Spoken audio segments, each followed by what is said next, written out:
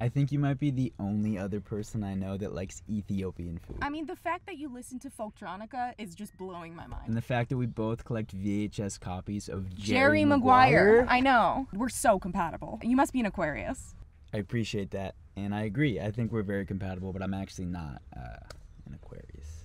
Well, you're obviously a Taurus then. I mean, you pick me up right on time. You're a great communicator, and sexually, we're supposed to be, you know, really good. I'm flattered, and I would love to test that theory out, like more than anything. But I'm not. Uh, I'm not a Taurus. Then you're a Gemini. You're a Cancer. A Pisces. I'm a Scorpio. okay. Um. Okay.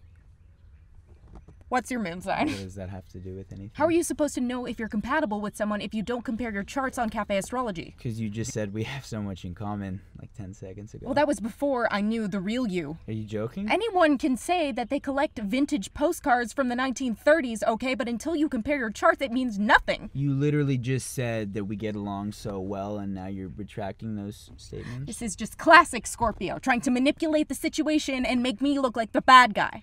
I'm gonna go before you say something insane like, you know, you don't think that you should keep crystals in your car. I do have crystals in my car. Save it, okay? This is what I get for dating someone while Mercury's in retrograde. I'm done.